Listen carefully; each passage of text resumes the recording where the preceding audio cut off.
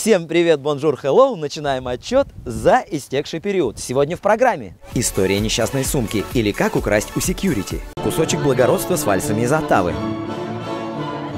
Открытое собрание монреальских мафиози. Хэллоуин во всем многообразии и безобразии. И совет от лучшего знахаря Монреаля. И надо быть немножко благодарней Богу за все.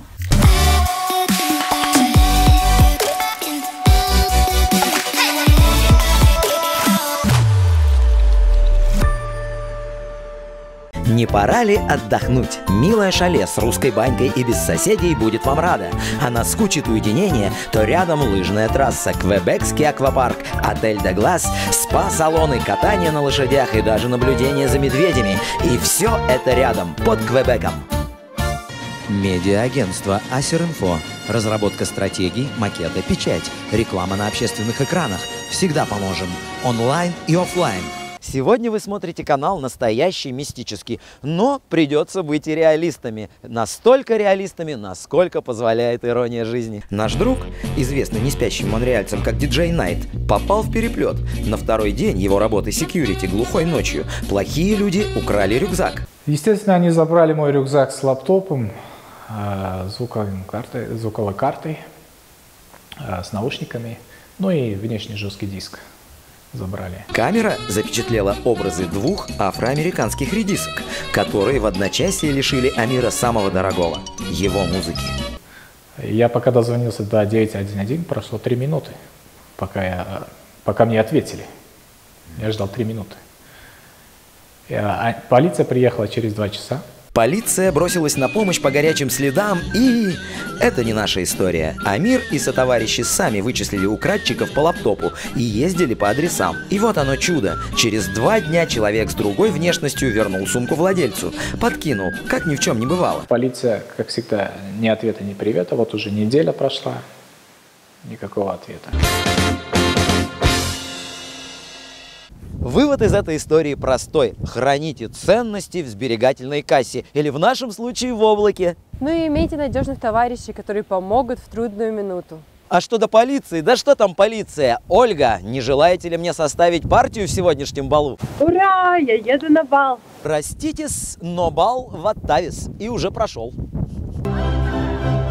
Побаловались балами в Оттаве по поводу золотой осени. Местами было изящно и очень фигурно. Как водится, был буфет с рюмошной, что поддержало мероприятие в привычном градусе и родном расфокусе. Ну и еще в копилку автолюбителей. Запомните, в Монреале петь за рулем опасно. Вот товарищ Тавфик Муалла запел в своем автомобиле, и тут же четыре полицейских бросились с двух сторон и выписали ему тикет на 146 долларов, чтобы не нарушал спокойствие. Пел, наверное, хорошо, громко. А может быть, полиции репертуар не понравился? Тогда прямо сейчас проведем социальный эксперимент. И как запоем песню напрасно оштрафованного. Everybody dance now. Let's go!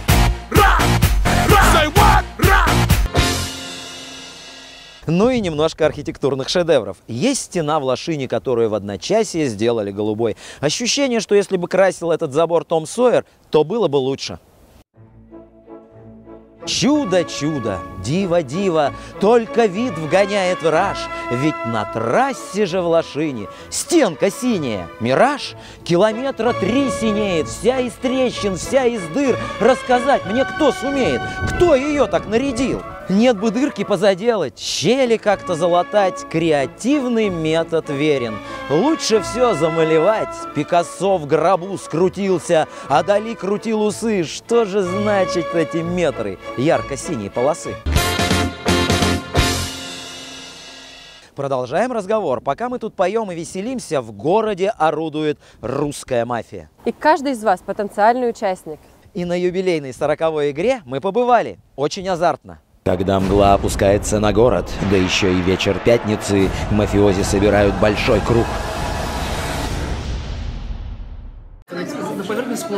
Самые гадкие черты человеческой души обычно. Это очень забавно. Там обычно, ну, мафия ночью убивает, и даже днем, потому что днем идет спор. кто там, о, я вот думаю, что ты мафия, я думаю, что ты мафия. И происходит вот так. Например, все потом... И мафия может даже, их же несколько, они втихаря там говорят, о, вот он, вот он, вот. И все зазывают, что это он. В конце концов его днем убили. Азартная ролевая игра «Мафия» и ее организатор Мария собирают любителей пообщаться, повеселиться и всячески задружиться. Всех подчуют пиццей, вкусным чаем и за работу. Вычислить, кто мафия и победит ли комиссар. Опять же, кого спасет доктор и как поведет себя маньяк. Игра на логику, артистизм и знание жизни. Этих, этих мы подозреваем, как они удобно сидят. Э, вот. Сейчас мы их послушаем, каждого по 30 секунд на оправдание. Давно замечено, что игры радуют взрослых не меньше, чем детей, да еще веселое общение. У наших мафиози этого вдоволь и общения, и интриг. Люди добрые, а главное не глупые. Приходите к нам. У нас интересно.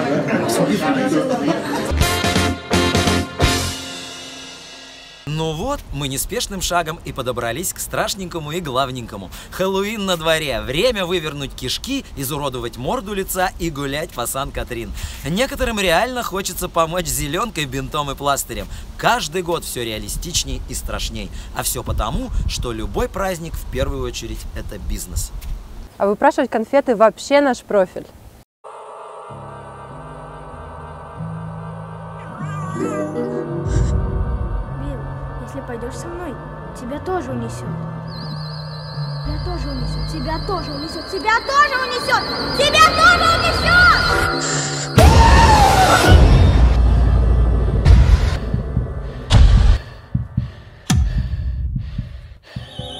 Чтоб жил на одну зарплату.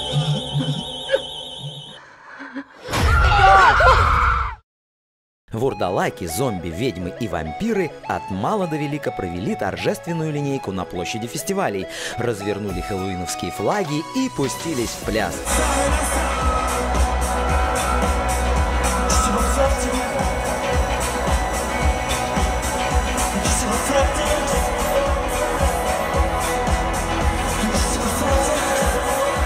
Желающих присоединиться и просто поглазеть яблоку не упасть. Счастливые страхолюдины улыбались окровавленным ртом, но в основном держались в образе. А как стемнело, марш зомби ужаса пощекотал нервы по Сан-Катрин. Пугали, рычали и орали.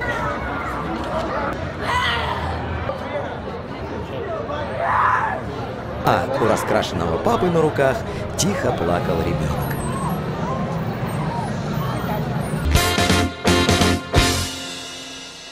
Напоминаю, сегодня у нас страшно мистический выпуск. Насмотревшись зомбиков, тянет, знаете ли, как-то сбросить это все, умыться, что ли. Поэтому прямой дорогой идем к нашему русскоговорящему знахарю. Уж она-то знает, поэтому и знахарь. Знакомьтесь, хотя знают все, Ольга – наш родной знахарь, ведунья, магуния, натуропат, мастер рейки и с выставкой канадских дипломов. Она же провидица, и хоть на вид и не скажешь, немножко ведьма. Вообще я родом из Мурома. Да?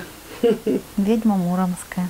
С глаз, испуг, проклятие, то, что сначала как, как радиация совершенно не видно, потом даст очень нехорошие результаты. О том, что Ольга всегда пищит в магазинах и датчики срабатывают на ее сверхэнергию, о том, что техника просто горит в ее присутствии, проверено на себе, еле сняли, гасли лампы и три раза заканчивались батарейки. Но в комнате знахаря есть и девайс для сомневающихся. Вот эта камерка снимает ауру на видео.